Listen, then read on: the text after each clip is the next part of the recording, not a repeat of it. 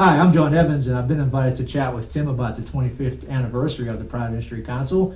And for all those folks out there this evening, I want to say thank you for working with me on the Private Industry Council TV show and a radio show.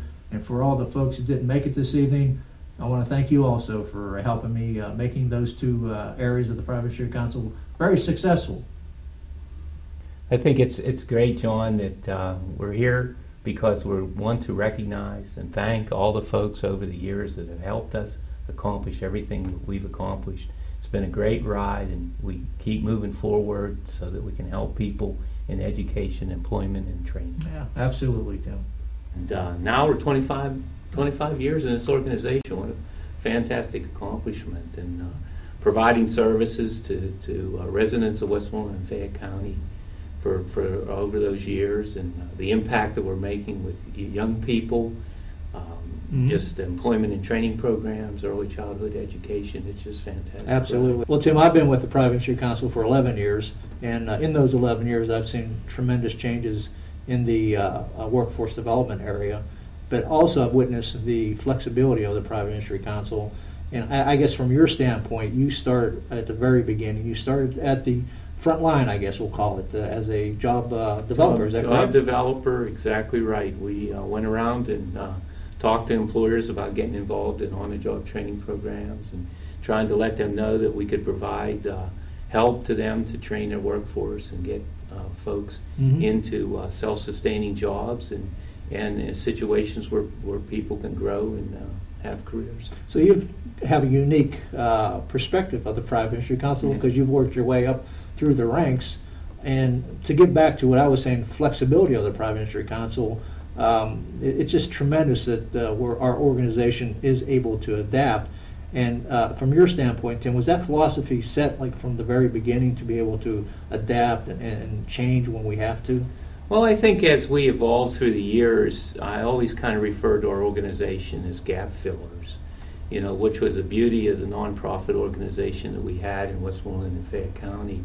Because you'd have a lot of different government programs, whether it be state or feds, and they would come down with different mandates to try to help dislocated workers or individuals that are coming off the welfare rolls, and they would have contingencies and restrictions to the types of things you wanted to get done. But with us, we could say, well, here's a piece of uh, that particular program that maybe the private industry council could come in and fill that gap Mhm. and, and really bring the program together. But because again, back to what we've been doing under the PIC connection and, and showing the whole partnership, private industry council doesn't do anything in a vacuum. We're doing things and we're accomplishing things and we're being very successful because of the partnerships, collaborations, cooperations that we have with other community organizations to get um, things accomplished and to help people move forward and, and see a brighter future for themselves. I absolutely agree with you, Tim. We have been able to uh, establish a lot of great relationships with many, many different organizations. And just to get back to the Private Industry Council TV show and also the Private Industry Council radio show, Yeah. we have many, had to have many sponsors in the past that uh, wanted to sponsor the show because they know that Private Industry Council is out there doing a lot of good things. So also, and there's a few more, but we do want to thank all of them for uh, sponsoring the show. But uh, as I've been, uh, had talked with these sponsors in the past, they are excited to be working with the Private Industry Council because of all the stuff that we do uh, in the community. So that's, that's a uh, real uh, plus for us. Yeah, that, that that's excellent. I mean, uh, to to you really can't thank them enough, and they, and they Mhm. come forward and they got behind us, and, and the impact that they're helping us make in the community to to bring these programs to uh, to light for people or make them aware. It, it's tremendous outreach. You know, you you you go through a lot of different modes of trying to reach people to make sure that the right people are getting involved in the programs that you Mhm. have to offer, and a lot of times. Uh, people will watch cable TV. Yeah, yeah, So, absolutely. so they're yeah. coming forward and they're saying, hey, maybe this is something I can take advantage of. And boy, what, a- what a great way to Mhm. get involved.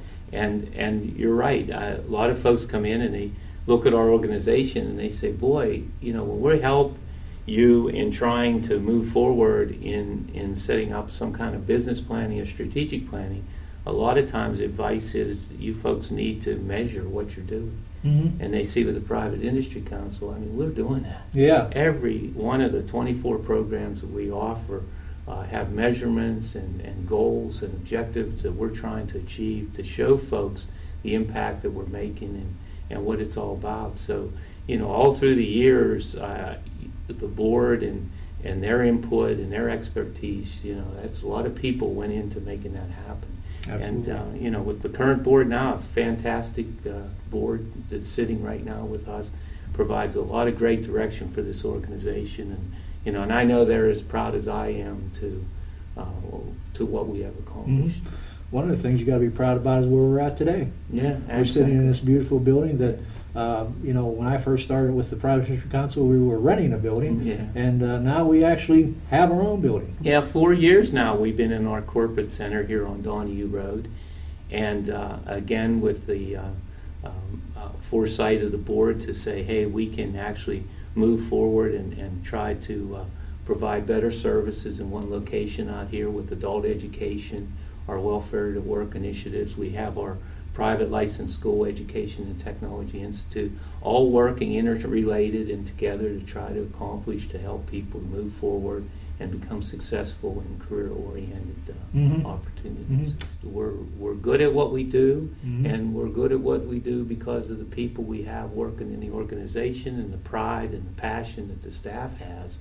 Um, Boy, to just see that uh, in, in different offices, I know you're working at Fayette Career Link and go in there and see what those people uh, do on a day-to-day basis, or, or to go over to our, you know, our Head Start Yeah. centers and, and watch our teachers in the classrooms and, and the interaction they're having with the young kids and, Mhm. and just just the impact and, and helping helping with self-esteem and, and uh, Yeah. making a transition to school and all those things. It's it's just really uh, something to watch and see, and, it- and it gives you hope that there's a bright future for us here in this area as we, as we continue to move forward. Yeah, absolutely. Uh, you mentioned Head Start. Uh, you know, since we've been doing the TV shows and the radio shows, I had an opportunity, or I have had the opportunity to work with uh, the folks over in, in the Head Start division.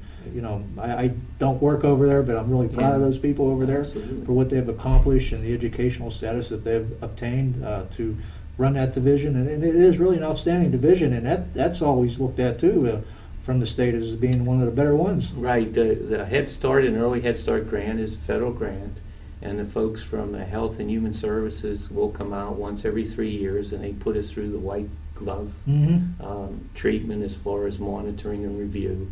And they always walk away saying that we've got one of the best organizations, one of the best Head Start programs in the state of Pennsylvania.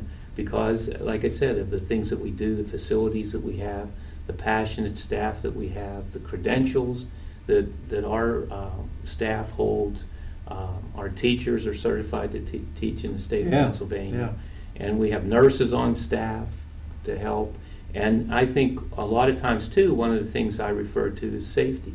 You know, we've been a flexible organization. We've been able to adapt where maybe many other organizations have not been able to do that and have not survived. But uh, we have been able to do to do that, uh, adapt and, and change, and I, I think we'll continue to do that. But um, as the leader, Yeah.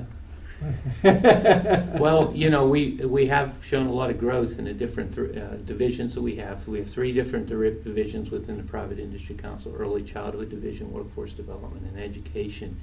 And uh, as you know too, I mean, right now, we're in an era where a lot of the uh, monies that are coming down for these programs are tightening up, and, and everybody seems like they're chasing the same money, but but uh, I think, as I said, what we look for is to maintain quality. Uh, We're an organization that's going to be meeting performance standards and and objectives, and we uh, uphold fiscal integrity. And and as we move forward, um, it's going to be providing um, more services to, to the folks here in Westmoreland and Fayette County. Uh, For instance, in early childhood, we're now involved in the pre-K counts program Mhm. and uh, to working directly with the school districts and helping those young people uh, make a transition to, to school and to kindergarten. And so it's more partnerships, it's more collaborations, it's more growth. Tim, I want to thank you again for inviting me up today to chat with you Okay, about the 25 years, the anniversary that's coming up here in October, and uh, I look forward to the next 25 years. It- It's been a good ride and we'll keep it going. All right, Thanks, John. thanks. Thanks for everything.